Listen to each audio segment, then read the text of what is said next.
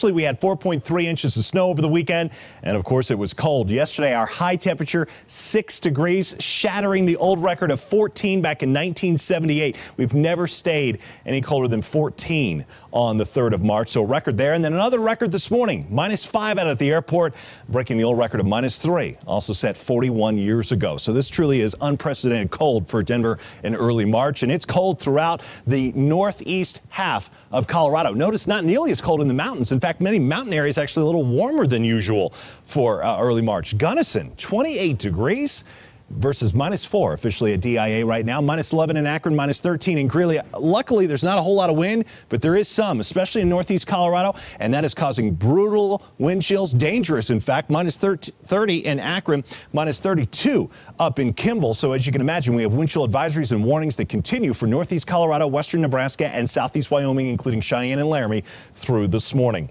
Later today, highs will get into the upper teens to near 20 degrees in Denver, 20s and 30s in the mountains. So a big inversion in place again again today. Mountain areas will once again be warmer than Denver and those of us here at lower elevations. Tomorrow, the Arctic air finally starts to lose its grip on our weather. We'll get out of the deep freeze tomorrow with highs in the mid 30s. Still some snow falling in southern Colorado, south of Pueblo, and then over in the San Juan Mountains. As we go way out into the Pacific Ocean, we see our next storm system spinning way off the coast of California. It's going to take a couple days for that storm to get here, but once it does, we'll start to see some snow back in our mountains coming up tomorrow night. We're talking about accumulating snow here. Sure, between now and then there could be a few flurries, but the accumulating accumulating snow will wait till tomorrow night into Wednesday. And by Wednesday night, it's possible we could get some snow here along the front range, especially for our friends in northern Colorado. Fort Collins, you could see some light snow, for example, coming up Wednesday night. For Denver, I really don't think we'll see much more than flurries.